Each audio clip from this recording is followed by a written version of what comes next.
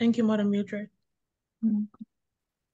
He raises the poor from the dust. That's Psalms, 11, Psalms 113 from verse 7 to 9.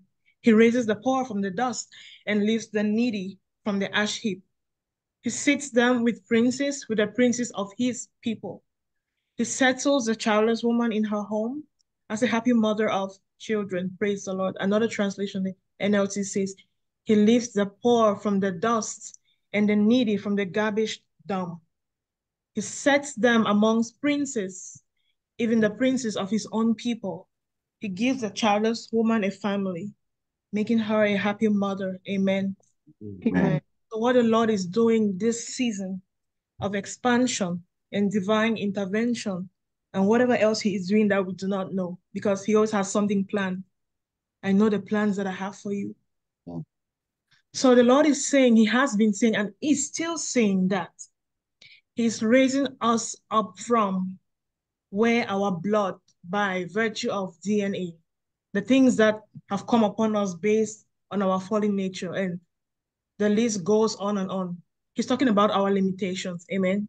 So when he says he lifts the poor from the dust, it is poor like you know it. And then the other limitations that come with our fallen nature, except return to the Lord. So he lifts the poor, he lifts us from anger, sickness, bodily weakness, poverty, envy, pride, anxiety, gossip, jealousy, laziness, missteps, misunderstandings, and all the misses that we can ever encounter from slumber, from the fact that we are slow, intelligent, because these are the things that come by virtue of our bloodline as human beings our DNA. We are prone to being intelligent. A child can be intelligent and smart, but then no wisdom. We are prone to ignorance, depression, low self-esteem, shyness, lack of confidence, mental conditions, financial instability and the lack thereof, stupidity, foolishness, sluggishness, misfit. Some say there are social misfits, and then indecisiveness. You cannot make a decision at any, at any time in, in, in life. Aggression, thievery, some people steal for no reason, deceptiveness, perversion, witchcraft, divorce, being obstinate, worldliness, vanity, being pliable. Being pliable, we, we need to be pliable before the Lord so that he can mold us because he is our potter. That is a good thing. But being pliable, being double-minded, and then not being able to decide, you waver here and there as the wind and the wave blows. It comes by virtue of our, our bloodline and DNA. Being stiff, stiff-necked, you're so stubborn, near success syndrome, you never get it. You're always almost there, but never there. Imprisonment, bondage, missing the mark at all times, desolation, heartbrokenness, lack of integrity, and the list goes on and on. The Bible says the Lord says He's lifting us from that place. Amen. In the name of Jesus. Yes, it will be so for you if you believe it. And then needy from the garbage dump.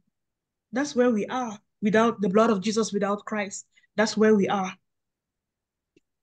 And then he says he is lifting them up from there because he is a lifter of our heads. Mm -hmm. So he's lifting us from there and setting us among princes. So what does the Lord do when he comes, when he introduces the blood of Jesus?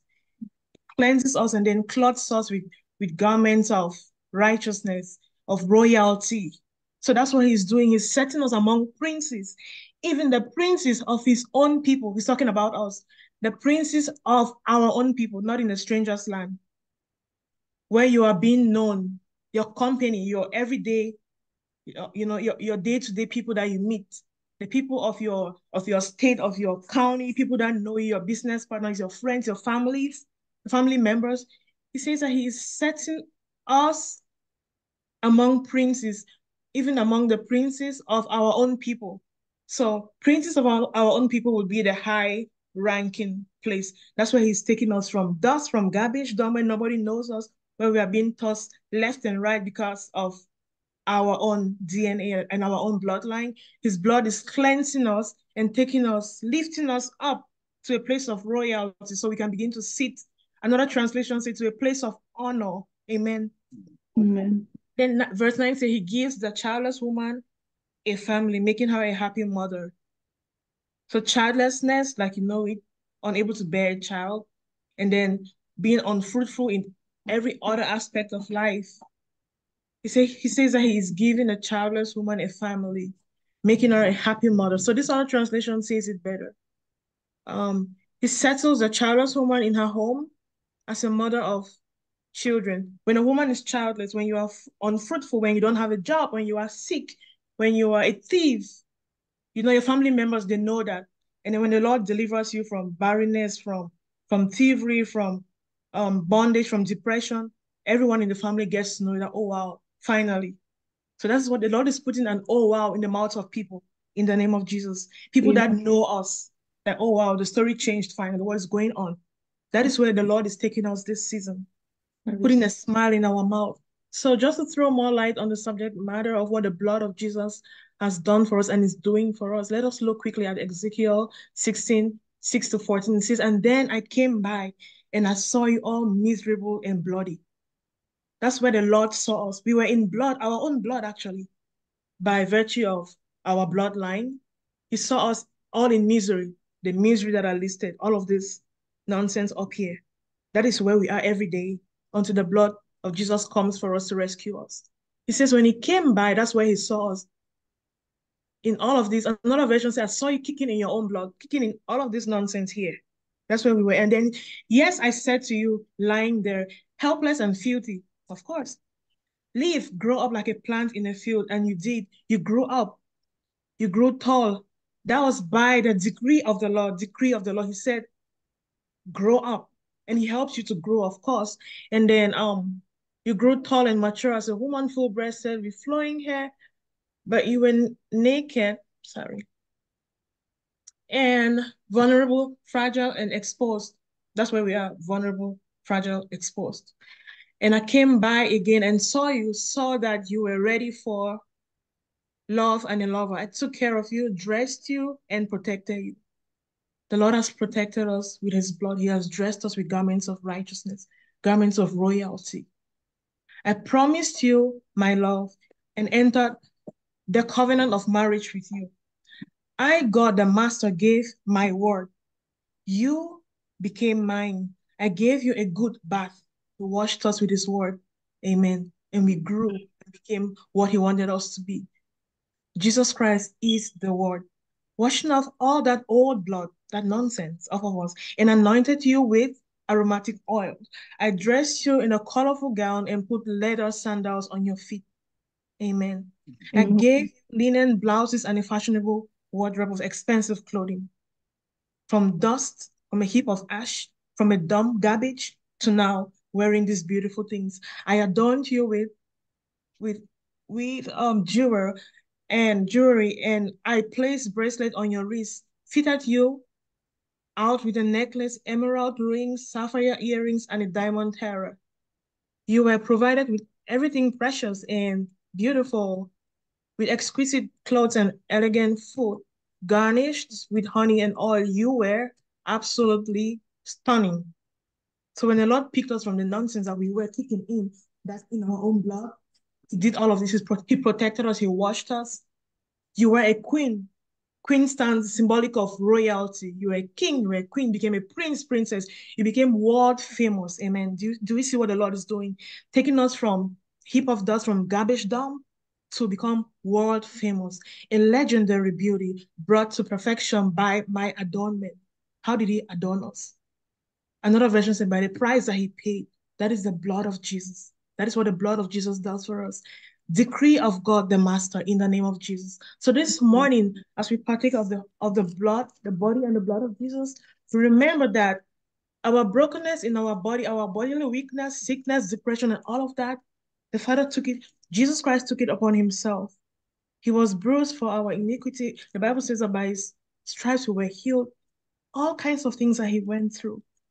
And his blood has washed us. His word has washed us. He has purified us, you know.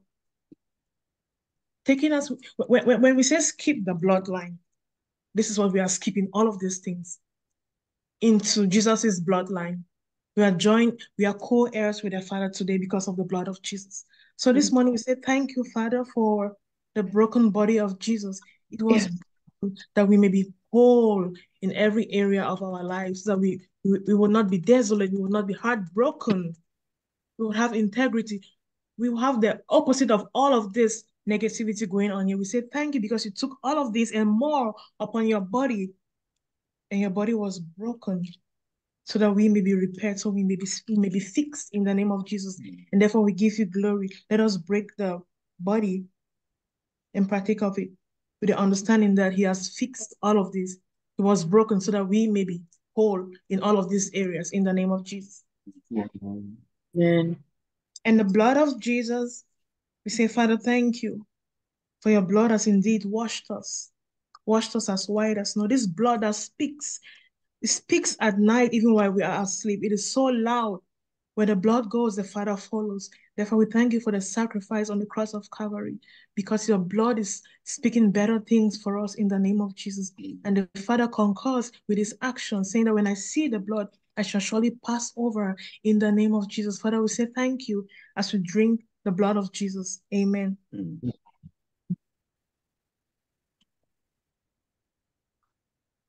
Amen. Amen. Amen. So we are going um into the message of today, which is expansion. Expansion, like you see it up here, expanding. Amen. So, wait a minute. So the title of my message today is uh subtitle. I mean the title of expansion as we know it. But why why do we need to expand? Why expansion? Amen. Amen. We need to expand because we have been commanded to expand. Simply that. How so? So we're gonna um talk about Isaiah 54 from verse 1 to 4, I think. Yes. The eternal covenant of peace. The Bible says, Sing, O barren one who did not bear, break forth into singing and cry aloud. You who have not been in labor, barren one who has not been in labor, cry aloud. Sing, sing, cry out with songs of joy. You who have not been in labor. Labor meaning that you, you have not been pushing. There is no contraction going on anywhere. So you're not in the process of birthing anything. People are giving birth to, you know, all to visions and all whatnot, and you no signs of labor at all. You have not been in labor. People are laboring and bringing alive, bringing to, to giving birth to, to things, you know, anything that you can think about. Children, visions, businesses, disciples, you know, but there is nothing going on with you. The Lord is saying this morning that barren one, you who has not been in the process in the process of birthing anything, the time has come. Sing aloud, cry aloud, come forth, break into singing. A decree by the Lord. And why is he saying so? Because we have been in the process of, we have raised altars in the past. We have raised the altar of establishment, and then we have raised the altar of manifestation, and then the altar of expansion that is, you know, coming in August. So the Lord began to minister to me. He said that he, there is a plan for expansion. We want to expand. It is beautiful to expand, but then he has a plan. He has something set in, in place for us. So we need to establish. And how do we establish? Of course, Mother Mildred and, and Dr. Kwame comes, they come with the uh, the blueprint. The father is saying this this month, this next month. So we, we keep going because they deliver the word from the father. But then he told me that some people do not manifest. I don't know. That's what he said. That there was establishment and then suddenly no um manifestation. And then now we're in expansion. So it's kind of overwhelming to some people that like, oh, manifestation, I didn't really see anything there. And now expansion, um, what is coming now? But then it, it, it's not anybody's fault but theirs. He said because there was a process, there was a thing of of not aligning disobedience. You know, the Bible says that obedience is better than sacrifice. He can fix all of that, but then he requires that we align. When they say this is what is going on now, it's not because um we want to be bothered or we don't have something to do or just want to engage you. It is what the Father is saying. He says people do not manifest. But his grace is sufficient because he said the blood of Jesus, this blood of Jesus is doing so much, always does. He says because of the blood, people would manifest and break into expansion. That's what he told me. And I was like, thank you, Father. He says it's going to be a double portion because of what the blood has done. Whatever the blood says is what he does. The blood says we qualify even, even while we are our disobedience that he will pardon. Amen. Isaiah 61 verse 7 says, instead of shame and dishonor, you will enjoy a double share of, of honor. You will possess a double portion of prosperity in your land and everlasting joy will be yours. The Berean Standard Bible says, instead of shame, my people will have a double portion, and instead of humiliation, they will rejoice in their share, the share of manifestation that you missed out on. The Lord says you would rejoice in your share, and so they will inherit a double portion in their land, and everlasting joy will be theirs only because of the blood. Because if he wants to go by what we do, by our disobedience and misalignment, and he, he made it clear that it is not because you did not align in this area, it doesn't pardon you for all your misalignment in every area of your life. But then he brought to my attention the work that the priest at the altar is doing. Because when they call our, because how how it is done that I know is that there are times when prayers are being done and everybody on the on the line, their names are being called one after the other. It is all of those things. The altar is speaking for you. The blood of Jesus is speaking for you. The priest on the altar, they don't sleep. The sacrifice, the Lord is looking at it and pardoning us. That's what he was telling me. I was like, thank you, Father, for another chance. If we will just take up this opportunity and do better. Amen. Amen. I come bearing good news. I come in the name of the Lord. Believe me. Mm-hmm. Amen. Amen. So he said, so I had to write this down so I don't forget it. He says, some will begin their manifestation by faith as they receive this message and overflow into expansion. Amen. And he says that we did not command it by no means. The blood is commanding this for you and me. Thank you, Jesus. Amen. Amen. Amen. So he Amen. says, um, the Bible says in Isaiah, this is B version of verse 1 For the children of her desolate one will be more than the children of, of her who is married, says the Lord. So there's a tendency for those who are married to bear children. As a matter of fact, there's, there's an entitlement attached to it because I am married. For the for those who say right for the righteous that think better of themselves than anybody else, the people like that. And then they think that oh, this other person doesn't have a child because they're not married anyway. So um, or whatever is going on with them. But I am married, so by virtue of being married, I'm supposed to bear children. The Lord says that in this season, there are some blessings that there are some not exactly blessings. There are some outcome that comes by virtue of people being entitled to certain positions and connections. But he says again, because of the blood of Jesus and because he is a protocol breaker, the children of the desolate, those who did not think that they can bear because they don't have those connections to those places, to those high places, will begin to bear even more than those who are connected because he is a God of all flesh and there is nothing that he cannot do. Yes. All because he wants to see us expand. Because why, why do we need to expand? Because there is a decree by the by the blood of Jesus, and the Lord is going by it. The blood of Jesus is able to purchase connections unbeknownst to you and me. He's able to bypass though the Bible says do not think too highly of yourself. There are people who think too highly of themselves because they've got a connection, they've got a decrees, they've got the um their children, they've got everything going going for them. Not necessarily they don't even know the Lord like that, but they have those things. But then sometimes you have children of God who don't have those connections. The Lord says He is the connection that we need. And He's gonna do things that would that people would have would have the attention of other people. He is a connection that we need. In the name of Jesus. So Mm. we'll begin to bear the children, for the children of the desolate will be more. We're gonna have, we're gonna have more than those who are married in the name of Jesus, than those who have it all going for themselves. The blood of Jesus is sufficient to birth for us contracts, jobs, positions that we did not think possible. Because if the blood of Jesus can do what man can do, then do we need the blood of Jesus? We don't. But then it is there to, you know, to fill up that space, to bridge all of those things that man cannot. In the name of Jesus, amen. Amen.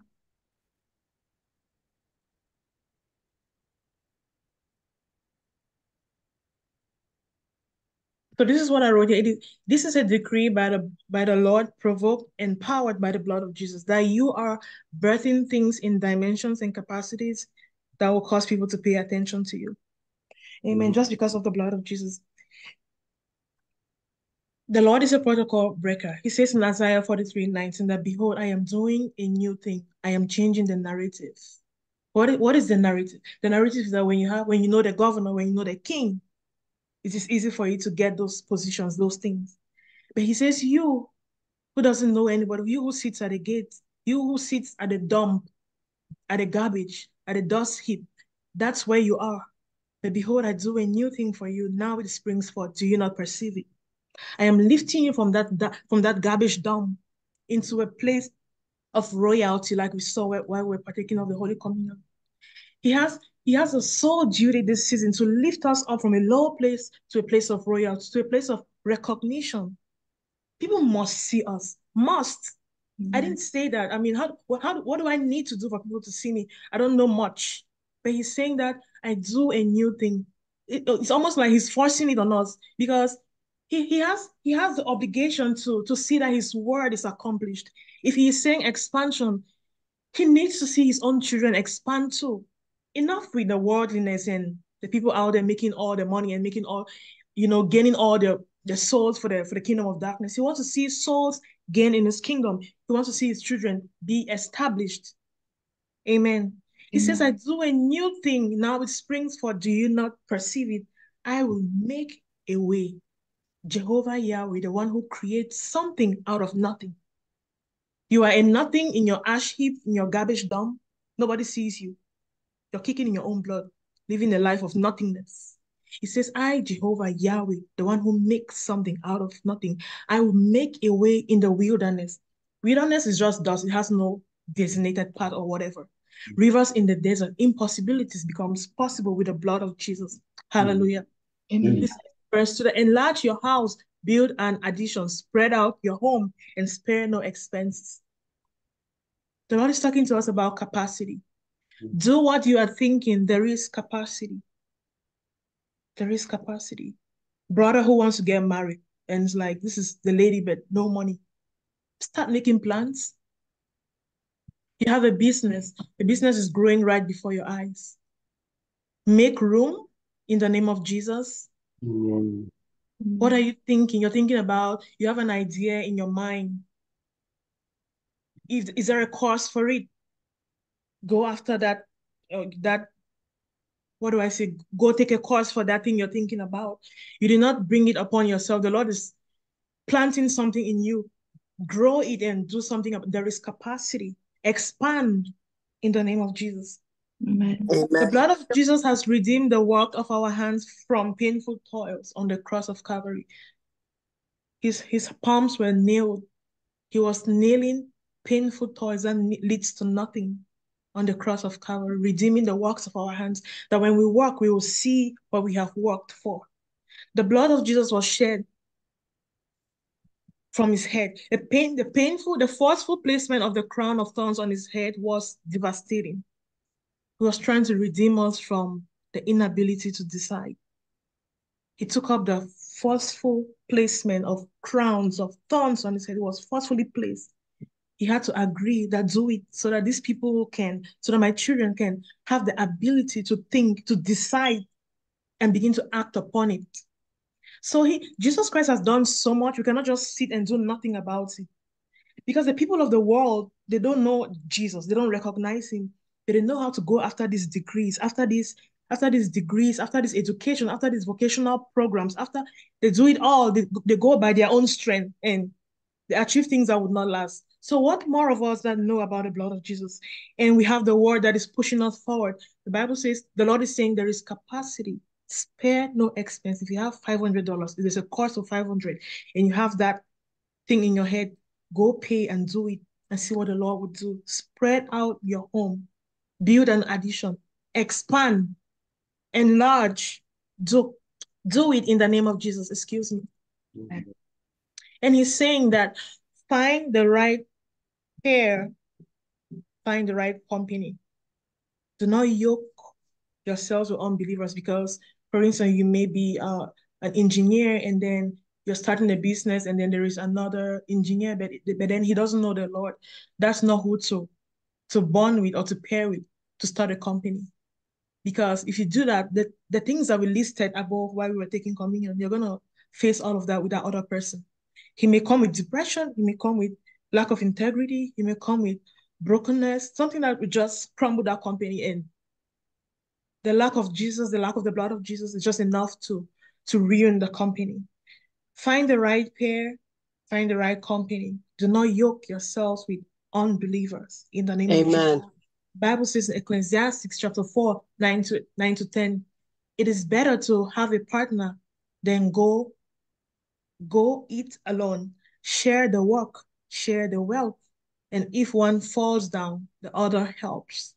But if there is no one to help, the Bible says tough, tough it will be. Amen.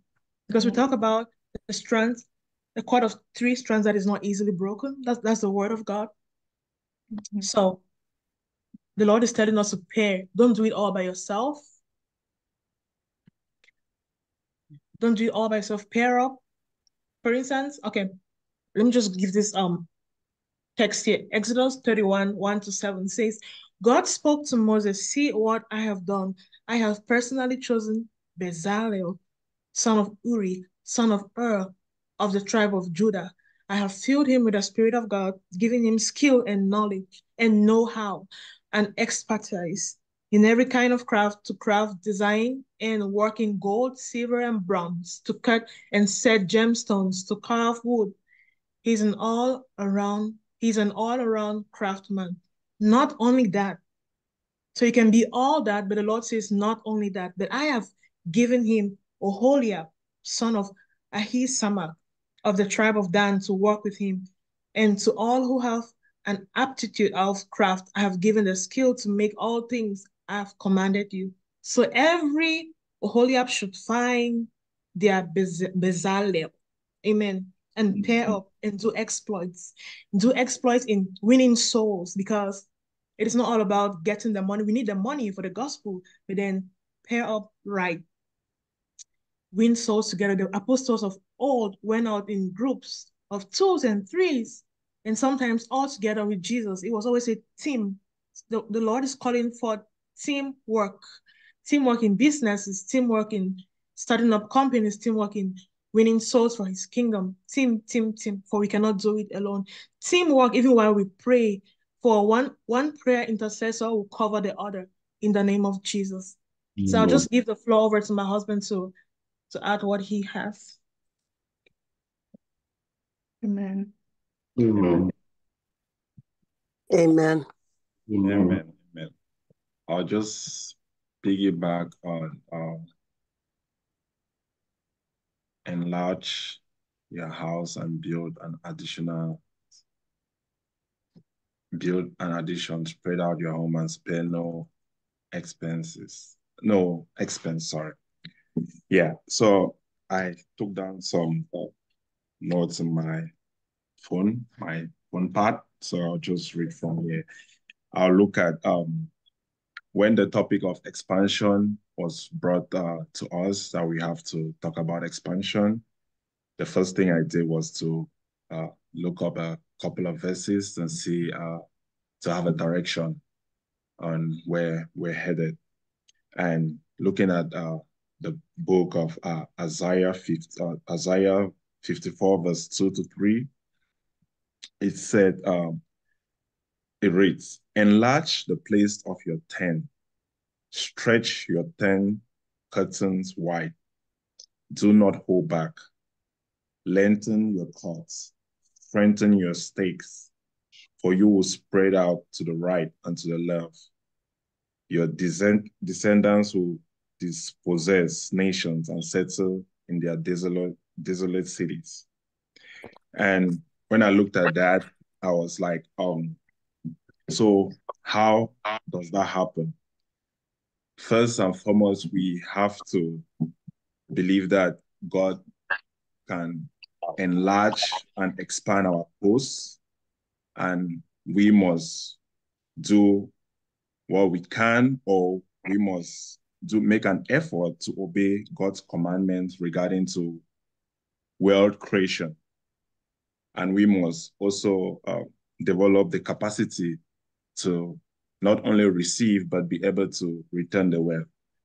And I also came across, uh, in terms of looking at obeying God's commandment of returning the wealth, I looked up the verse, uh, the book of Timothy, uh, chapter 6, verse 17 to 18, which reads uh, divine instruction amongst the wealthy. So the passage reads, Command those who are rich in this present world not to be arrogant, nor to put their hope in wealth, which is so uncertain, but to put their hope in God, who richly provides us with everything for our enjoyment. So to enlarge or to expand, you can't do it on your own. You must trust and believe that God has everything in control and to do the right thing for us. By ourselves, we there's a limit to what we can achieve in life. I won't lie, I've been in that position that uh, I thought I could do everything by myself. You know, I just believe that uh, God would do it for me, but I didn't really have the trust. Like something was always pushing me back. I think, oh, I can do this by myself. I make it, it depends on my effort. But there's just so much you can do by yourself. You break, you know, and I kept uh, having road a lot of roadblocks. I've had a lot of roadblocks just because I considered that I could do things by myself. And my wife will always remind me of, you know, I don't think uh, uh, you're doing what is right. You're more focused on the mammon side of it. You have to trust that God will do it for you, or God will do it for us. And she said, uh, she also told me like I don't obey some principles, uh, like basic principles like paying tithes, you know, and that I must do the right thing to actually expand.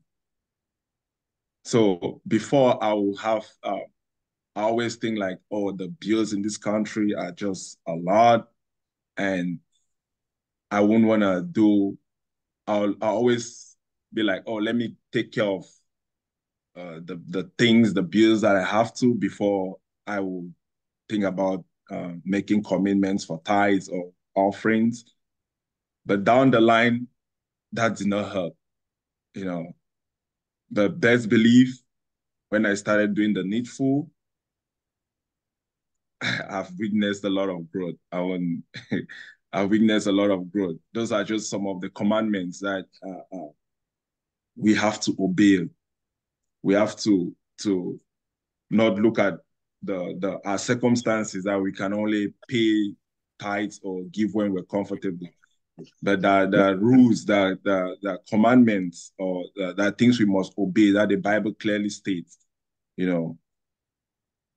So I wasn't, I wasn't, you know, spiritually sound or in that uh, capacity to to think like I should only give when I'm fine or when I'm comfortable. So, by the moment I started doing what was needed, things has drastically changed for our household, and it's only getting better every passing day. Mm-hmm. So, for you to expand, you must be be be ready to do what the, uh, God asks of us. Amen. You can't do it by your own. Mm-hmm. Amen. And let's look at the point of uh, they said third, you must develop the capacity to return, to receive and return well. I looked up uh, the the widow in Second Kings four, verse six. I looked up the um, Second Kings four, verse six. Yeah, and the, we say which reads, uh, why there was a vessel to fill, there was oil sufficient and it only ceased to flow when there was no vessel to receive it. So uh, Yeah, and so this is a good emblem that the grace of God, why there's an empty, longing heart, there's a continual overflowing fountain of salvation. Then uh specifically, Second Kings 4, verse 3 reminds us of uh, God's mercy upon us. So whatever we need, whatever we want, or whatever we wish will be given to us. That's a promise from God. When we ask for God to answer our cries according to his word, he'll answer our prayers, which he says, I will answer, I'll give you what you need, what you ask for, when you ask it according to my word. That does not mean we should just go to God and, you know, ask. I don't know which word to put, but some unnecessary demands. you know, God, God asks when we ask for something, it should be according to His word. Would, would that lead us towards the right direction, or it will take us to a place that will, will, will make us to drift away from His words? You know, so we we should be careful with what we ask from God, and if we're actually ready to handle what He gives us, because uh, not not everything that you ask you ever to handle. So you have to be mentally and spiritually ready that what God will give you, you handle the right way. You used to uh, foster His ministry or uh, His kingdom here on earth. So um, looking at all these, I'll come to a conclusion like uh, divine intervention, uh, divine expansion uh, is about uh, God making room for us to become bigger. It refers to growth, it refers to increase and enlargement. Divine expansion is when God intervenes and bring about growth, enlargement, and increase in someone's life, family, ministry, ministry, sorry, business, and our careers. God has been very good to us, to me, and to us in general, and my family, uh, because I started moving towards the right direction and started obeying his commandments. Uh, with what I'm doing, I just uh, imagine that uh, once I become the way, the right way he wants me to be, the sky will be uh, my limit, and you know we'll just continue to expand and grow. I prayed a lot and ask God for guidance in my business, in what I'm doing, and I I I've promised God that as long as I live, I'll continue to worship. I'll lead my family towards the right direction. I'll continue to worship His name and praise His holy name. Make sure I guide my children to do what is right, to honor and believed in just Him and Him alone. Because by ourselves we can we can do it. I tried. it didn't Amen. work. So, Amen. yeah. And you know, I'm just uh, going by His lead. You know, so uh, that is what I have to share in regards to you know.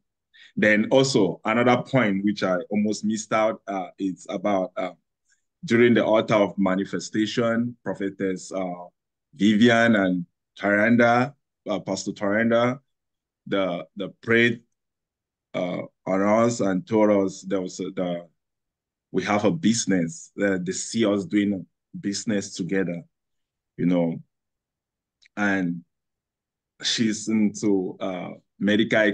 She's a medical esthetician, interior designer, and I'm more um on the other side, like finance and uh, e-commerce and stuff like that. And I was wondering, like, how how does that even add up? Uh, a, a beautician to uh, somebody that is e-commerce. So I was looking at, oh, how how are we gonna expand? How are we gonna work together? So from like that already seen uh, expansion coming by us doing it together. And all along, I wanted to do the business because I, I do e-commerce by myself, you know, she was she's always uh, uh, my wife would sit and always look at me like she this he needs help. I need him to say it. you know, then she'll she'll make all attempts to make me know that oh I need she needs to be part of this business, you know. But I want to handle it myself. I'm just like oh I'll give uh, uh, uh I'll not pay attention, you know.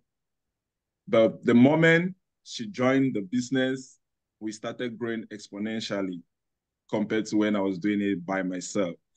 And this just shows that when you have the right company, the right partner, uh, it's very important because uh, I always presented, uh, I presented my vision and my uh, the goals I have for the business, and she saw that by myself I cannot handle these. You know, she needed to be part of the business, and she has helped a lot.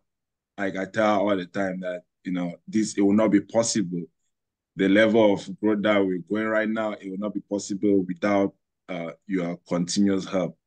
You know, that has that has really helped our, our, our, business to expand, and I believe we're just getting started. You know, so I I praise God for uh, the revelation during the the altar of uh, manifestation. Those are just uh, one of the things that we uh, uh, was said to us, which has really, you know, come into light. And we just keep going. So thank you all for listening to me. thank you. To continue. Amen. Amen. So we hear the aspect of aligning with the word of God and of course the aspect of pairing with the right company and as the spirit leads. Do not pair or yoke yourself with unbelievers so like I said, Bez Bezalel should find their Oholiab. Yes. Find people in the business that the people that do similar, because they did similar, uh, you know, work. But we are all supposed to be the Bezalels and the Oholiab of each other when it comes to the kingdom, when it comes to winning souls. There is no exemption. There is no, you know, that one. We're all involved. So now the next point is creativity and creative skills are God-given gifts. Exodus 35, 35, he says, he has filled them with skill to do all kinds of work as engravers, designers, embroiderers in blue, purple, and scarlet yarn, and fine linen and weavers, all of them skilled workers and designers. So the Lord has given us various um, gifts and talents it is not limited to the list that you see here. There is more, more than this. So what do you hear in your head? Go after it. What, what are you thinking about? Your thoughts are not totally your thoughts. The Holy Spirit puts them there. When, when the Bible says that before I formed you, I knew you, all of that, he knew what you would think. He put those things down there. So when you come down here, you develop them. Amen. Bible says in Job 33, 15 to 16, in a dream, in a vision of the night, when deep sleep falleth upon men in slumberings upon the bed. Then he opened the ears of men and sealed their instructions. Some people are like, um, I have nothing, nothing that I'm thinking about. How do I expand? Read Job 33. Tell the Lord to visit you. He does that when people are sleeping. And you just wake up with a new idea. For example, for myself, I'm an interior designer. Sometimes when I get a contract, I don't necessarily think about the design. I just go to bed and I see what I'm supposed to do. So I wake up and start bringing it to light. So it's different for everybody. So when I say that, what are you thinking? Capacity, do what you are thinking. You can depend on the Holy Spirit to, to you know, to just, what's the word? Just, you know, empower you and give you insights and visions about what you need to do, instructions that you need to follow. Hosea 12, 13 says, The Lord used a prophet to bring Israel up, up. Israel was down, up from Egypt. They were down in Egypt by a prophet. He cared for them. For the people of Israel, they were cared for by a prophet, and then they were brought up. Egypt is not a good place. We all know that by now. So if you are in Egypt, if you do not see what it is that you need to see in a dream, the Lord can use a prophet like he did like my husband just explained about the prophecy for working together. He can use that to bring you up from that deep place, from that that ash heap, from that dump, from that dirt. He can use a prophet to bring you up from it. All of that will signify Egypt. You can you can come out from there by, by the help of a prophet. The message translation says that your real identity is formed through God sent prophets who lead you out, up and out of Egypt and serve as faithful pastors. But today, people are running away from pastor. Oh, I don't want the pastor to know, get into my business.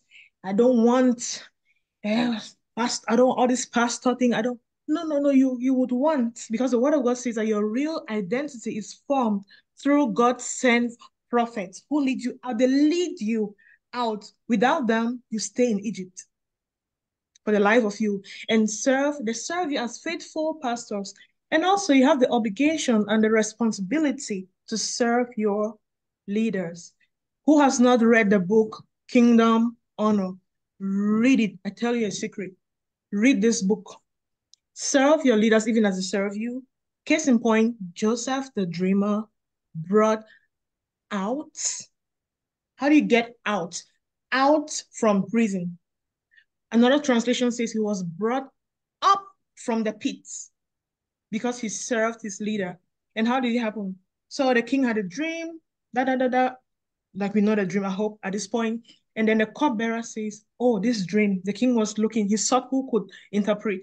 The cupbearer said, Oh, once upon a time I was in prison, me and the chief baker we had a dream and this guy um, interpreted this dream and it came to pass just the way that he said it. And we were released. The king said, oh, such a man I need. Where is he? They say he is in prison. And the Bible records in verse 14 of Genesis 41. Then Pharaoh sent and called Joseph and they brought him quickly out of, out of the dungeon. And he shaved changed his clothing and came to Pharaoh. Pharaoh is symbolic of high ranking, royalty, king, of course. So where was Joseph? In a heap of ash, like we saw while we were partaking of the communion, in an abandoned dump yard, in prison. But then because he served, he was going to serve his leader. His leader had called him. So he was brought out. That's the same thing that our pastors do for us.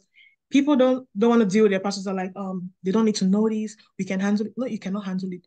The grace you don't even have it. Even you cannot handle it. So they say he they brought him quickly out of the dungeon and he shaved he changed his clothing because he was going to the princes of his people. He had to look like them. So that's where the lord takes you when you're willing to serve he had he had the option to say uh -uh, i wouldn't interpret no dream the king can do whatever with it but then when he said yes, that's when his breakthrough began.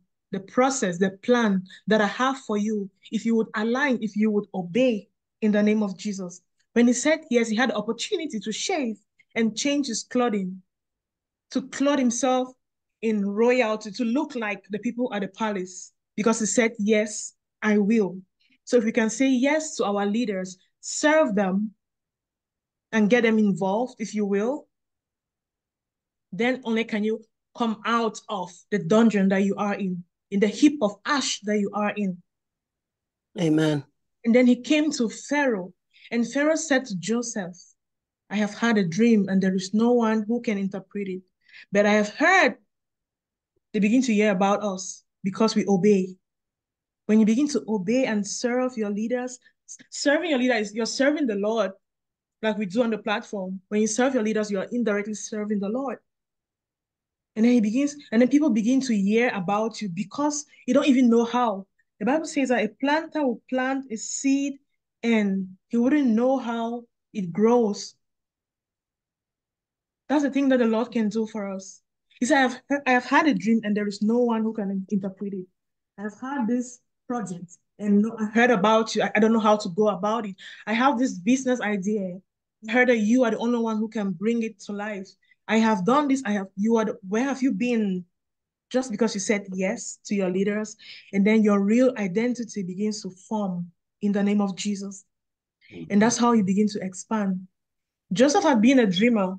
He, he was he had he had been established. The Lord has established him. You're a dreamer. By all by all means, you dream. And then now he had a chance to manifest. Who did ex, ex, who did manifestation skip?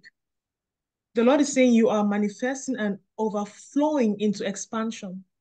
Joseph had his chance to come and manifest. He said yes. And the Lord said, Because you are saying yes, you manifest now by interpreting to the king to show him that this is what you are all about. You dream and then you manifest by interpretations and then you overflow. How did he overflow?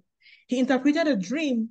He says, I have I have heard it is said of you that you can understand a dream to interpret it, that you can manifest and even that you can establish and even manifest. And then so Joseph answered Pharaoh, saying, It is it is not in me. God will give Pharaoh an answer of peace. It is not in me to manifest, it is not in me to expand, except the Lord, except the blood of Jesus. That is what Joseph was saying.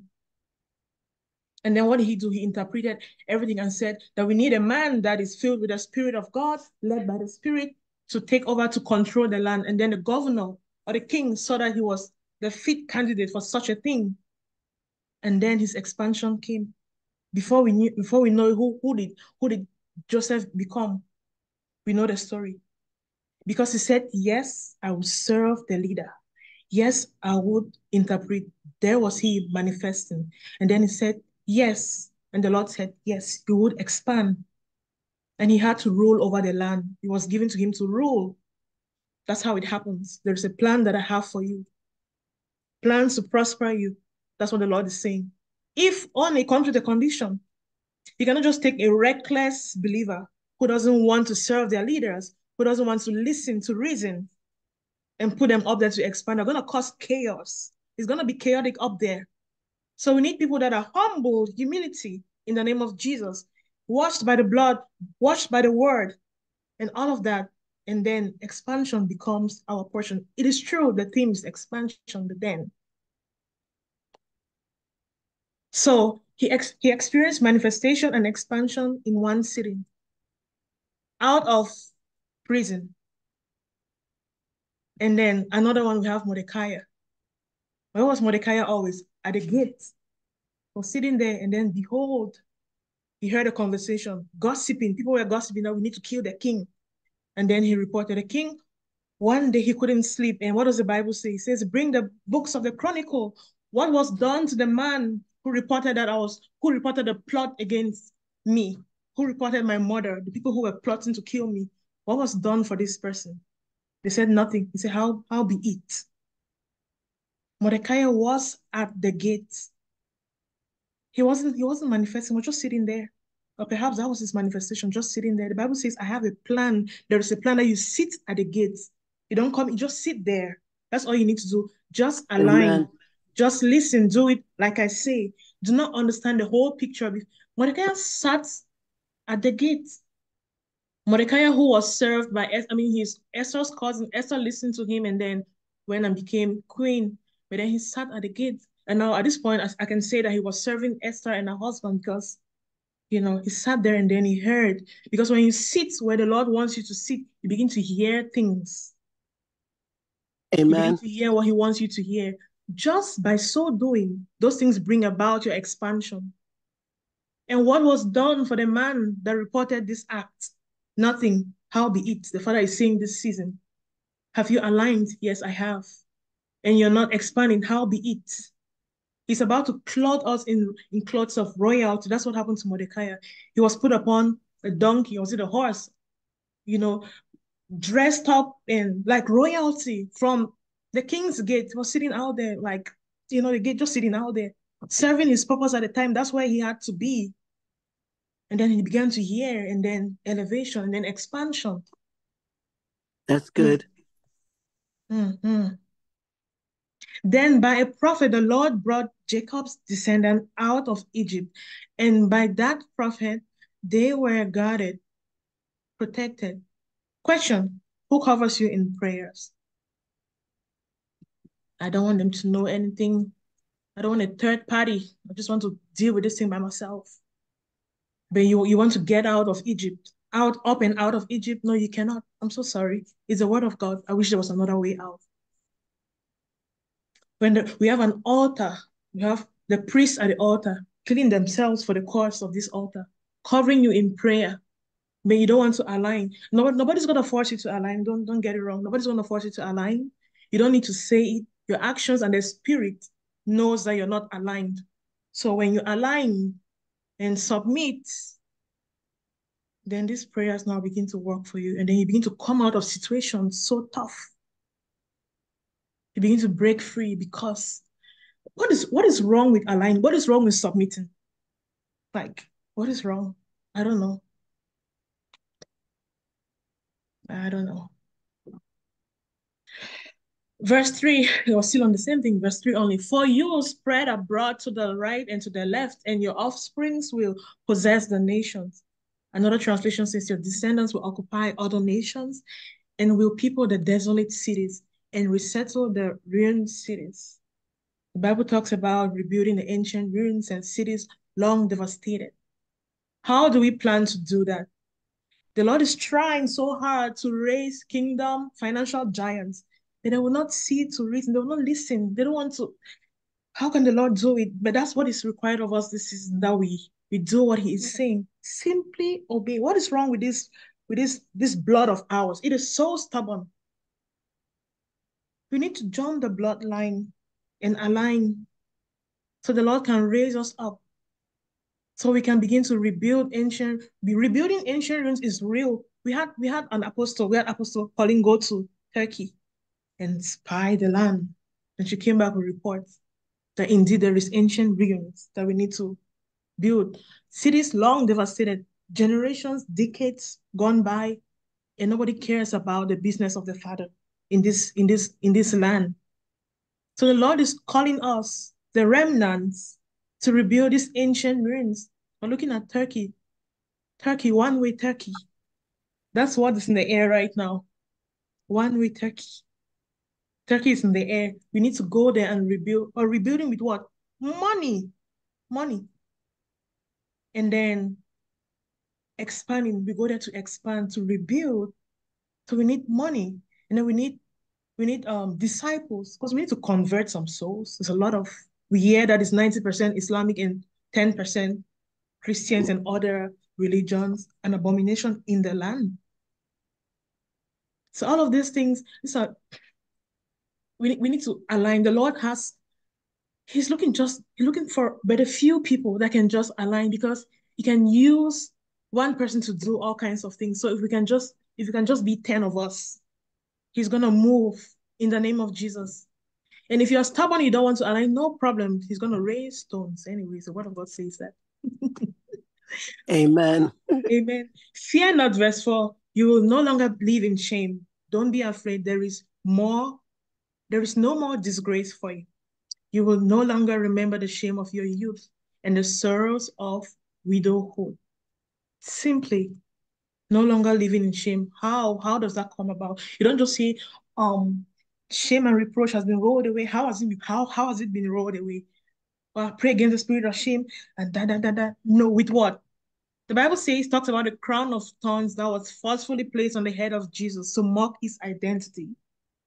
He says he was the king of the Jews, you know, but that's who he was actually.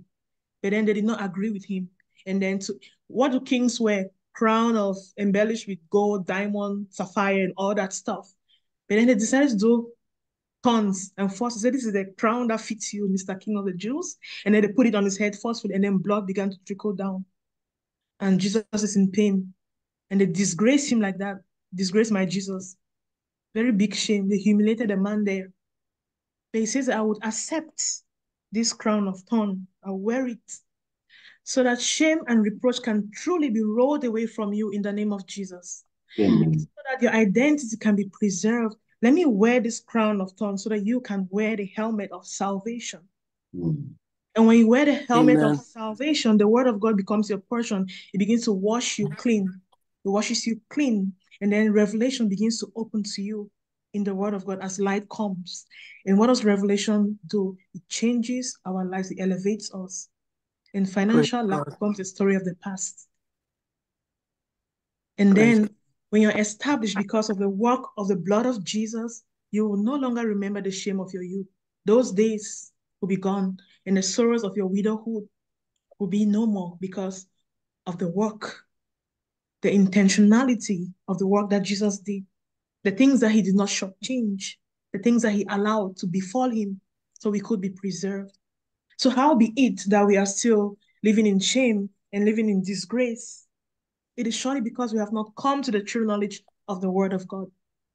And that's where the devil wins over you. So I pray this in the name of Jesus that as light enters by reason of the word today, that shame indeed and disgrace will roll away because of the blood of Jesus. Because you are understanding this message in the name of Jesus. Amen. Amen. Amen. Amen. Why do we need to expand we have time? I think I'm moving faster. So we need to expand because the season is right. Simply that.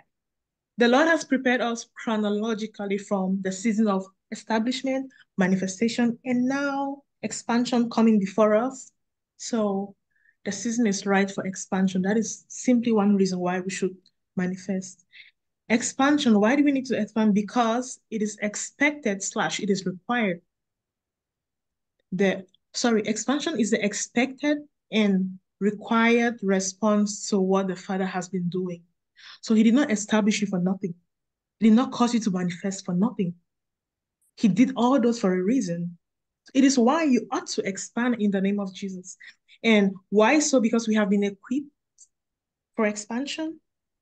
And therefore, we are required to provide the harvest, the people and the goods at the harvest. So let me talk about this. So just last year, while we just a day after we raised the altar, we were, you know, going back home and things just before we even left the vicinity, the area, we we were praying, myself, Mother Mildred, Pastor Kwame, um, I don't know if Pastor okay, Pastor Jones wasn't there. Um, the other apostles and prophetesses were all there, you know, just praying and worshiping, just having a good time in the presence of the Lord. And the Lord began to speak. So these people have gathered in my name. Let me tell them something. And then one prophetess goes, Oh, I see a truck coming from a narrow path, and the truck stops at the gas station to fuel up. And as soon as it fuel up, fuels up, it takes off again and it begins to leave the gas station.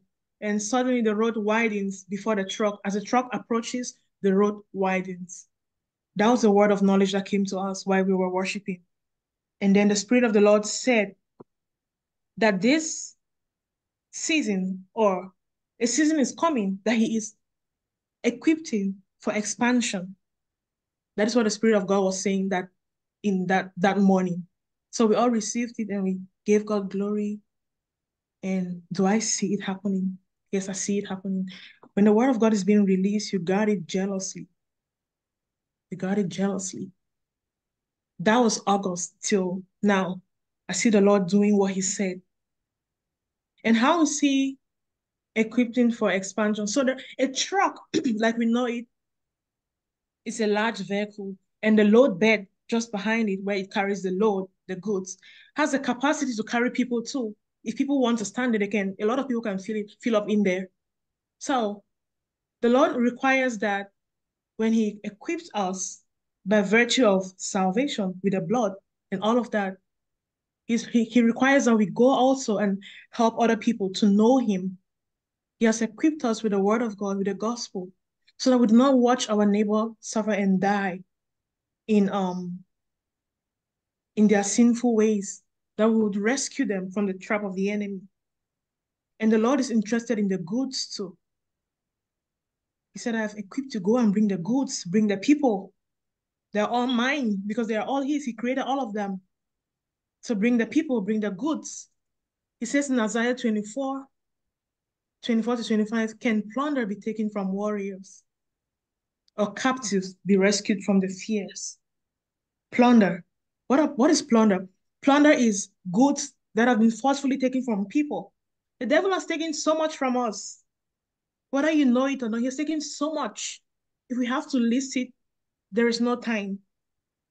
But the Bible is asking, can plunder be taken from warriors? The Lord is saying, I have equipped you to bring back the goods and the people. It is the reason why I fueled the truck So the truck goes out and bring back the goods, and the truck bring, brings back the people. We are those trucks that the Lord has equipped Amen. with fuel, fuel of the word of God, fuel of warfare. Our captives be rescued from the fears. Captivity are a people that have been held bound, bound by, by, by whoever captures them. The devil has captured a lot of people and plundered and stolen away our goods, forcefully taking them from us.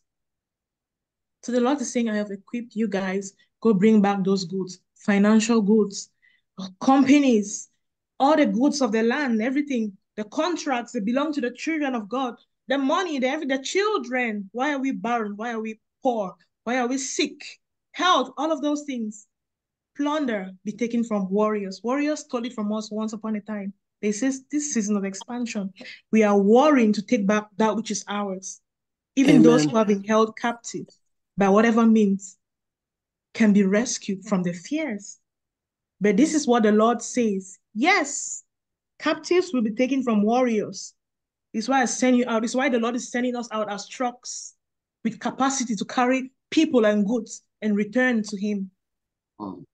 And plunder, retreat from the fears. They stole our goods, a lot of them. We need to go out as trucks with a load bed that is empty, but then equipped with fuel to gather the people and the goods. I will contend with those who contend with you, and your children I will save in the name of Jesus. Mhm. So we Amen. take back that which is ours. So we have um well, I'll get to that point. Let me just go down. So it, I wrote here, we have been equipped through the saving of our souls by the blood of Jesus. So Jesus has saved us and equipped us with the knowledge of his word, equipped us with the blood of Jesus, equipped us with salvation, too many things. And then he requires that we go also and bring people. Second Corinthians 6, 1 to 2 says, as God's partners, we have been equipped to a point where we are God's partners. We partner with Him. We beg you not to accept this marvelous gift of God's kindness and then ignore it. For God says, At just the right time, I heard you while you were kicking in your blood in disobedience, in brokenness, in depression, hatred, envy, jealousy, all kinds of things. I heard you. On the day of salvation, I helped you.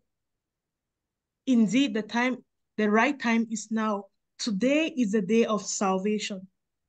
So God's partners do not accept this gift of salvation that the blood of Jesus has, you know, paid for us. This gift of kindness that God so loved his son that he sent his son, loved the world that he sent his son to die. And then we just ignore it after receiving this gift of life and forgiveness and salvation and all the goodness that is going on with us.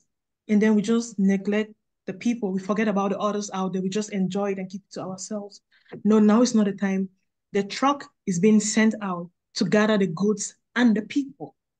So he requires of us as his partners who have been equipped with the word of God to go out and save the others. Today is the day of salvation, not tomorrow. Amen. Amen. So God was kind to us, his son, he sent his son to die for us, and we are equipped. The Bible says in John 4 35, Say ye, say not ye, that there are yet four months and then cometh harvest. No, no, no, not four months, now, today. Don't say, oh, tomorrow, or I'll see how it is going, then maybe I can try next week. Uh-uh, not even in four months. The Bible says now, today is the day of salvation. Indeed, the right time is now. Do not forget. Do not ignore it there and then ignore it, for the Lord says. Because the Lord heard you, so he's sending you to others. Do not say, do not procrastinate that in four months. Behold, I say unto you, lift up your eyes and look on the fields, for they are white already to harvest. The people are there, ready. Do not procrastinate. Do not say it's four months. Do not say it's tomorrow. Do not say it's next week. Go now in the name of Jesus because I have equipped you. I believe that we have been equipped on this platform enough to harvest the people and even the goods in the name of Jesus. Mhm. Good harvest comes from the Lord. True enrichment comes from the blessing of the Lord with rest and contentment in knowing that it all comes from Him. It is a Bible verse that says that the blessings of the Lord make it rich and added no sorrow with it. Amen. Amen. So, good harvest comes from the Lord. Good harvest. Avoid abusive relationships that promise you resolve. Do not be unequally yoked by marriage or by contract or by friendships or by company. By no means shall you shall we be unequally yoked. We need to avoid abusive relationships because what comes out of there that seems good wouldn't last. Guard against the spirit of division. Yoke onto the right company, business partners, the right ones, organizations, the right ones, and you name it. And team up for expansion like we already saw.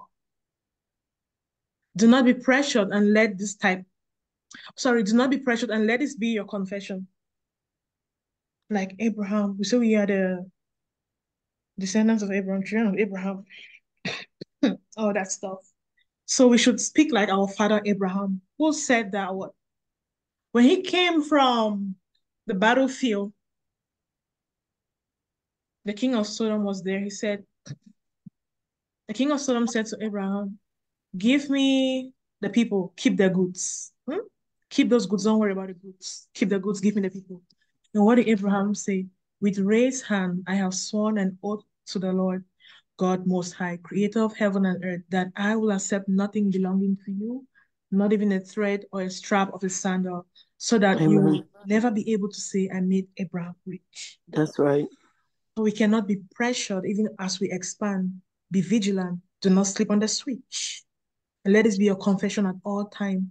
When the king of Sodom says, take the goods, don't worry, keep the goods, just give me the people. It's a bad trick. Don't fall for it. He's Yes. luring you to a bad trap. Because when you keep the goods, because the devil has the ability to give you goods. Bad goods, of course, they look nice because he knows how to disguise like an angel of light. Come on. it's dangerous.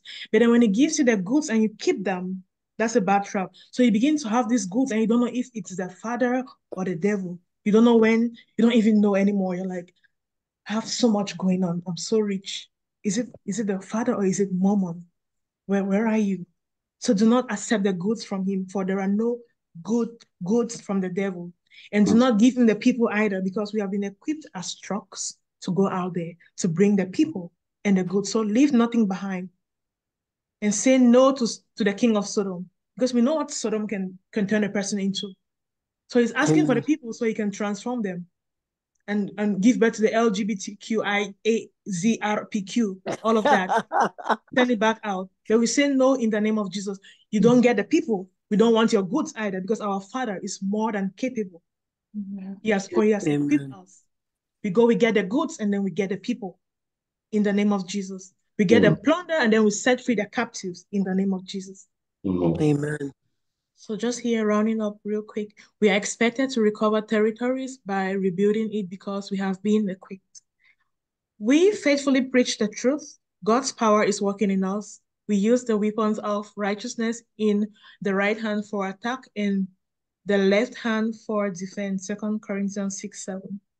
So how do we we have the spirit of God working in us? And so how do we recover territories? Because we have been equipped.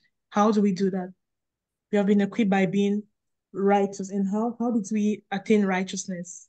The blood of you see the blood of Jesus everywhere. Like you cannot please attend pillars next year. I'm begging you today. okay. Amen. So amen. Apostle Jones knows better because she went before me. Gone ahead. Things like that. So we this thing, the blood of Jesus. So we have we use the weapon of righteousness in the right hand for attack, and then the left hand for defense. Righteousness that was brought about by the finished work on cross of Calvary. That's right. Just by living right with the Lord, right standing with the Father is enough weapon that we can use to recover territories. On bended knees as we pray. There's going to be a lot of prayers. There's going to be a lot of, we need to live right, of course, prayers, and then the Lord gives directions. And that's how we keep going. That's how we're going to rebuild these cities long devastated and ancient ruins and all of that in Turkey and other places that the Lord will reveal. You need to be righteous. Like I said, righteousness, with righteousness come, um, the Lord can entrust you with so much because you're righteous, you're living according to his standards. And also, I said it's okay to be offensive. Oh, I don't want to do warfare. I don't want to. Versing the devil, the devil comes after me. No, war by living right is enough warfare. You don't want to warfare. You don't want to do this. You don't want. You don't want to look for trouble. Serious. Trouble will find you. Yes, exactly. Amen. So that's how we war in the name. That's one way to war. It's a weapon of righteousness that we use to attack. So just by accepting the Lord Jesus Christ, He died for me and all of that goodness, you already you declared war already. So you, just might as well just pray the prayer of warfare altogether because you cannot just leave some things out. Because the devil come after you like his life depends on it. So be ready. Amen. Take it by force in the name of Jesus. Isaiah 61, 4 to 6. We will rebuild the ancient ruins, repairing cities destroyed long ago. They will retrieve them, though they have though they have been deserted for many generations. Foreigners will be your servants. Case in point, let's talk about Turkey. If we go there, like we are going to rebuild that devastated, long devastated city, what if, who are we going to meet there? Muslims that we would convert and that will begin to serve us. They'll look at our vision and say, I can help you, I can help you. And that's how they begin to serve our vision. And then the Bible says they will feed your flocks and plow your field. They'll say, We know how to do this thing. This is how we do it over here. Then we, we will go show us how to do it. And then you see them doing the stuff. This is very practical. And 10, your vineyard. We're definitely going to hire people, you know, I'm being positive and I'm being, I'm already in the vision. I'm trying to work it out already in my head. You will be called priest of the Lord. When you go to this land of Muslims, you serve the Lord, you're definitely going to be called priest of the Lord, ministers of our God. You will feed on the treasures of the nation and boast in their riches, says the word of God. There is treasure in that land, treasure, a lot of it. So let's look at the cities long devastated, the ancient ruins, the seven churches. We have Ephesus. What was Ephesus before?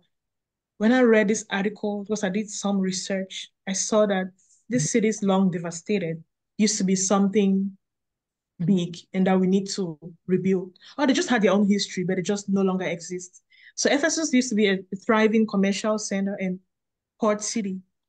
So there was serious business there. Sim, Simi, Smir, what? Smyrna. Smyrna, Smyrna. Yeah, that used to be a marketplace. used to be a marketplace, but it's no longer that. Pergamum, they say it was Satan's throne. So a lot of stuff went on there. And Jesus used to warn the people about that stuff. And then Thyatira used to be a business place. We had linen weavers, the bronze workers, potters, and bakers. It was a thriving business place. And then we have Sardis, was the wealthiest Roman city. And then so it's been rebuilt multiple times due to devastating earthquakes. And it had gold amassed from the nearby river. So there's so much treasure, there's so much that used to go on there, but they no longer exist. So the Lord is calling us to rebuild it, rebuild this. Philadelphia, city of brotherly love, now known as the city of Allah because the Muslims have taken over. It's not supposed to be so. We have Laodicea, built on a major highway and became a commercial and banking commercial and banking center known for ear and eye medicine and for black wool. Those things no longer exist. So we need to rebuild. The Lord is trying to raise up financial giants in the kingdom of God. He says that the wealth of the unrighteous shall be gathered for us. So we need to go and take it in the name of Jesus. And the last point, just here that we saw already, we have been equipped by the blood of Jesus. Simply, first by our identity in Christ, which we saw before. I'm not going to beat the point too much because we already have talked about this during communion. We have been equipped by the blood of Jesus, and then it has given us a new identity. Although some people don't want to accept it, the Bible calls us oak of righteousness. a planting by the Lord for the display of his splendor. But then when we when you look at oak of righteousness today, oak of righteousness is not acting as oak of righteousness. Oak of righteousness is more like a microphyte. A microphyte is the smallest, the smallest plant, the name, the terminology for the smallest plant. Oak of righteousness does not even know what Jesus has done for them. They don't even know what is rightfully theirs. You know, oak of, oak of righteousness is just just there. Oak of righteousness is scared to pray warfare. Oak of righteousness is not it's not in this thing. The Bible calls us joint heir with Christ, all because of what the blood of Jesus did. It calls us the righteousness of God. It calls us the salt of the earth. It calls us many things, a tree planted by the water. But then we're just we're just not there yet. Some of us, not all of us. Because we, we have refused to even study the word of God. The Bible says that we would meditate upon his word day and night, that our way may be prosperous. Amen. How do you want your way to be prosperous if you do not even know who you are, by the way? That's why the devil wins. Because he, he knows your titles, he knows all of it, but then he's looking at you to see if you're even conscious of it, by the way. And that sums up the message for today. We need to be conscious of who we are in the name of Jesus. For the brokenness of Jesus was such that we regain our true identity and become who we truly are. We have been equipped indeed to expand in the name of Jesus. Amen. May the Amen. Lord bless the sharing of his holy word in Jesus' name. Amen. Amen. Amen. Glory to God. Amen. Amen. Amen. Amen. So we're gonna open the floor for a few comments Because it's already one. because it's already 1 p.m. Amen. Amen. Um, that was an awesome message, woman of God. Appreciate it. Um, the expansion uh word was well uh said. Um, I like a lot of what you said, and again, time for for time's sake. Um, one thing I do um I really like was how you talked about Mordecai. I never looked at Mordecai in the the portion that you mentioned about being positioned, sit still, where Mordecai sat at the gate and waited for his expansion, right? Mhm. And um, y- you know, Mordecai was used um representing like the Holy Spirit in in Esther because he was leading her and guiding her while she was in the palace. But as the man Mordecai sat at the gate and and did not move from his position, he did not move from his assignment, and he did just what God would have him to do. And in this season, sometimes we also have to remain focused, as you mentioned, uh, stayed in that place that God can speak to us, that we can draw nigh to Him, and we can mm-hmm. hear His voice, and that expansion will come, that elevation will come, but we have to remain in position. That was very, very powerful. Amen. Amen. Just bear with us. Any more comments? Don't leave anybody. Let's get the comments. Please. Amen. Thank you so much for the message. Really, I was blessed by it. Thank you. Thank you. Thank you to your husband as well. Mhm. He said that, you know, why should we expand? Because the Lord commanded us to expand or has commanded us to expand, and also because the season is right. Amen. Amen. That really sums it all. And um, in this season, if I really want to capture everything that you have said, I would say that, you know, you talked about the provisions in the blood of Jesus Christ, because everything that you spoke was connected one way or the other uh, to the blood of Jesus Christ.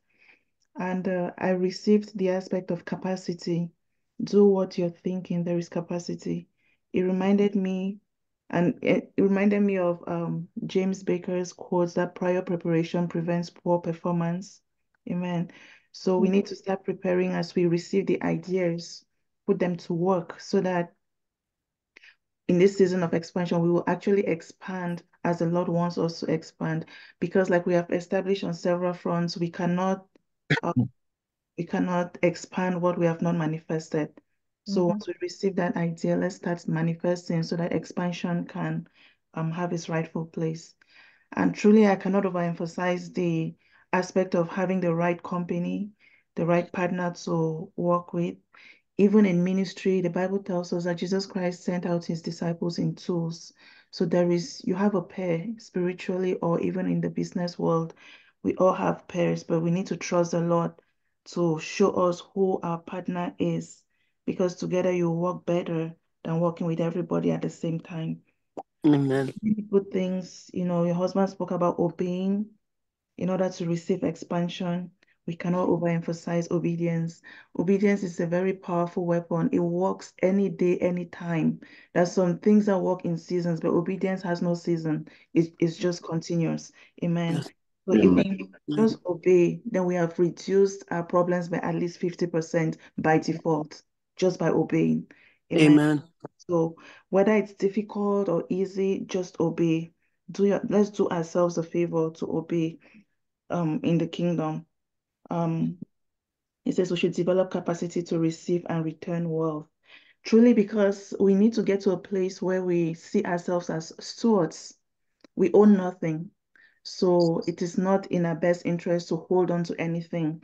Just see yourself as a steward, even to your child that you gave birth to. Amen. You're a steward over that child. You're a steward over your husband or wife, over the people that the Lord permits you to give, um, you know, instructions to. You're a steward. Do not hold on to anything or anybody. Amen. That's the beginning of a downfall.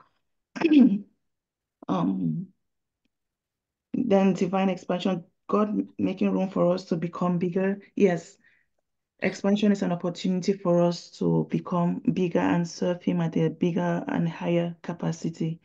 Then talking about serving your leader, you know, um, we've, we've gone through the book on kingdom honor.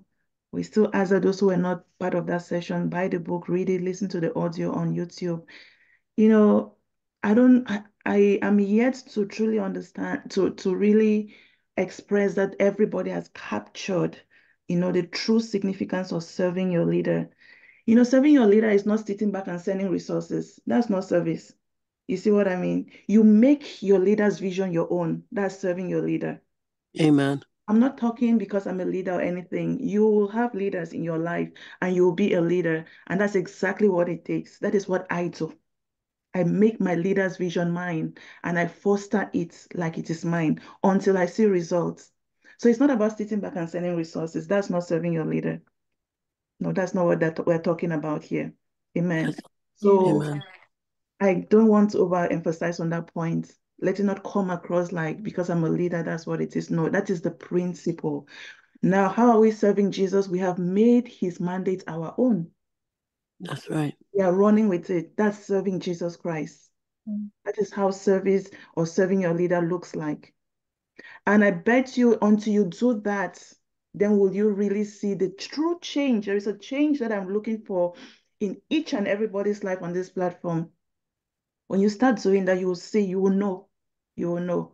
I say this by revelation and by experience for the glory of God. So I'll, I'll leave it at that because of time. But thank you so much for the message. I've been blessed. I've taken in so many nuggets. I've been reminded that the Lord has lifted me in this season and uh, I'll run with everything possible that I've received today. Thank you. Thank you, Uncle Armel. Thank you all so much for this wonderful. Amen. Amen. Amen. Amen. Thank you. Pastor Kwame, are you going? Yes, ma'am. Thank you guys so much for for, for bringing this word to us. And um, I would just say that speaking on expansion, why expansion, you touch on alignment and obedience, because these two are key to expansion.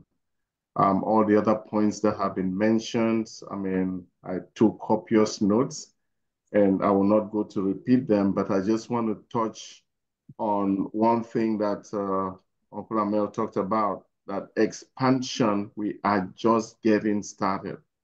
As far as expansion is concerned, we are Mhm. just getting started. And why do we get, how do we get to a place where we are just getting started with expansion? It is a place where we come to realize that self doesn't work. Mm-hmm. I cannot do it by myself. When you get to the place where you realize that I cannot do it by myself, your expansion has started. Amen. Because at that point, you surrender and you are willing to get help. That is the case of Jacob. Jacob becoming Israel and establishing the 12 tribes of Israel is because Jacob came to that place. When we talk of the wrestle that Jacob wrestled with the angel of God, that wrestle, that wrestling was part of the fact that Jacob was bringing his strength, his might, his all to the table, saying, I can do this. I know how to get around with things.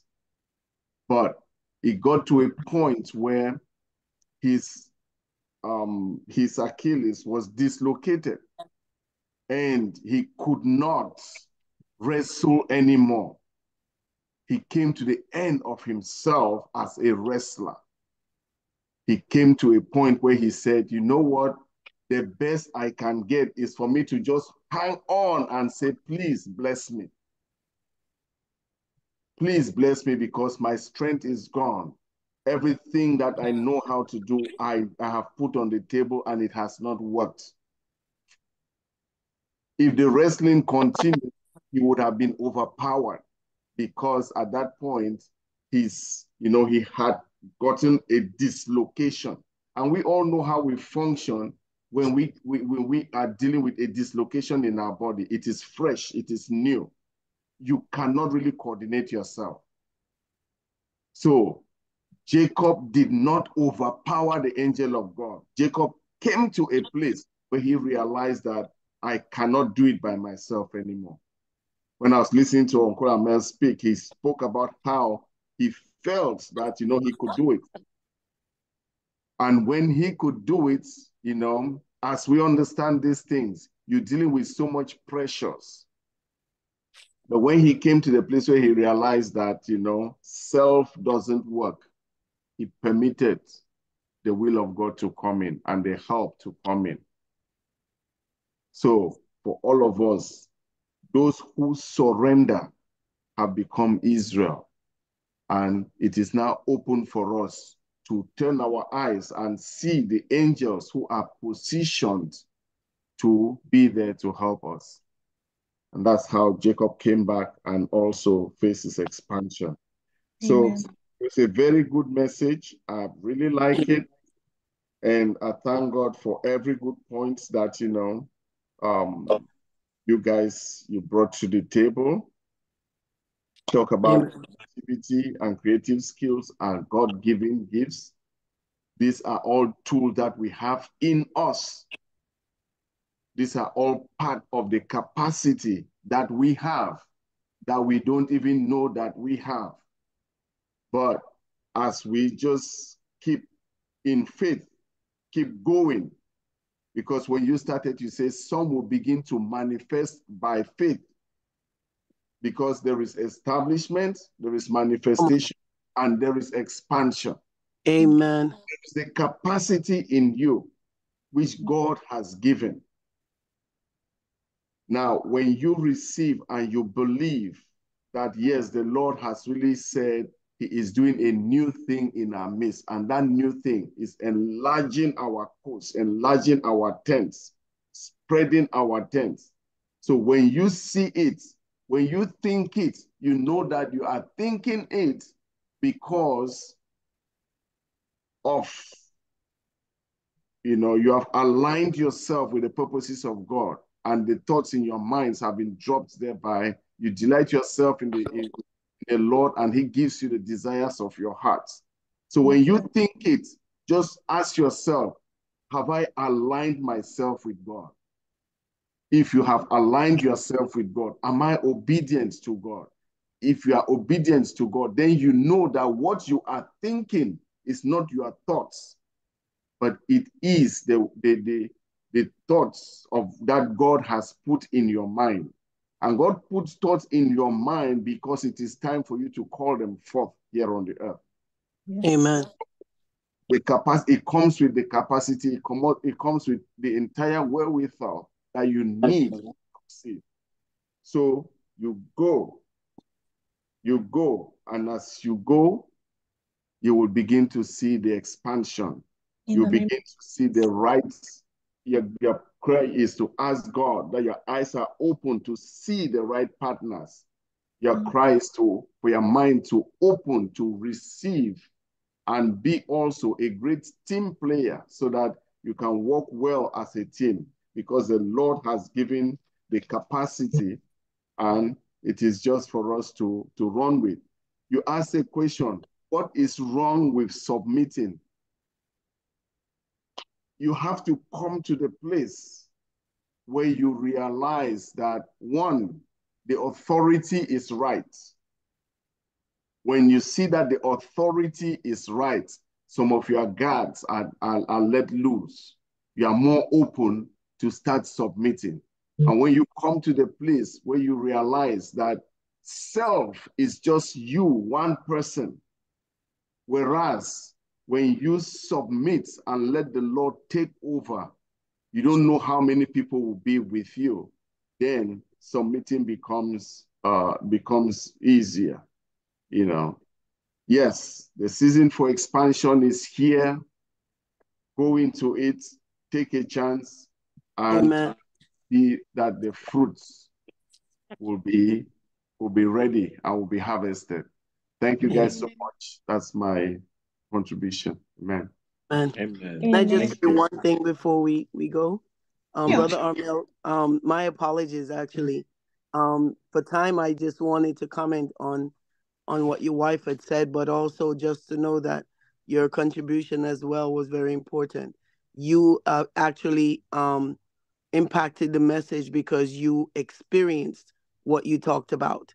And Amen. there's nothing like being touched with the infirmity of whatever the situation is. So I do thank you. And um, I apologize, not that I was ignoring you, but I just want to let you know that I did receive from your message. And it really impacted the message because you spoke on your experience concerning, you know, how God moved in your life and how you see the expansion manifest. So I thank God for you. Amen. Amen. Thank you. You're welcome. Thank you. Thank you all for your inputs. Uh, I think that the floor for contributions is now closed. So Okay. expansion is here to stay. Somebody talking? Yeah, I didn't want to. Um, I know it's way past time. Everybody kept contributing and contributing, but thank you all for actually bringing this powerful, powerful message. And I'm going to tell you that. I mean, there's no way I was just going to sit quiet. But um, Daddy K and you know, Mommy Mildred and um, Apostle Jones, you all said everything that was in my mind. Actually, Daddy K touched so many things. I was just, I was just about to explode on them. But Uncle Armel, my guy, thank you so much, man. The example you used, I mean, it's a real life scenario. You see something happening, and then you you're like, okay, you know what? Yeah, I surrender. Yes, You know. So thank you so much for that message. I listened to every bit of it from the beginning to the end and every contributions, and I must tell you that I'm blessed, man. And messages like that we learn, right? yes, From what you've experienced, I'm not gonna want to experience something like that because you've already experienced it for Yeah. us. So we should just avoid it by doing what's right, by accepting that we need help. And then again, if we go through establishment and manifestation, it's but fair and right that we should expand, right, in every dimensions of our life. Right. Because, you know, that's what the law says. We should expand. We have established, we have manifested, then it's very normal and, and expected that we should expand. So um I just bless you guys for this message and I say thank you and wherever um the time that the Lord that you put in to actually listen to the Holy Spirit and you know prepare. May the good Lord actually replenish you, you your time in every areas. Amen. Amen. Bless you too. Amen. Amen. Thank you, thank you. Would that be all? I guess yes. Amen. So this is a decree by the Lord that go ye forth and expand, mm-hmm. expand is here to stay, enjoy. Amen. May we share the grace in the name of Jesus. Amen. And the May the grace of our Lord and Savior Jesus Christ, Right. Lord, God, the fellowship of the Holy Spirit, be with us now and forever. Surely goodness and mercy shall follow us all the days of our lives, life. and we will dwell dwell in in the house of the Lord Lord forever. forever and ever and ever. Amen. Amen. The church of God say amen. Amen. Amen. Amen. Amen. God bless everyone. Bless you. Thank you. Amen. Amen. Amen.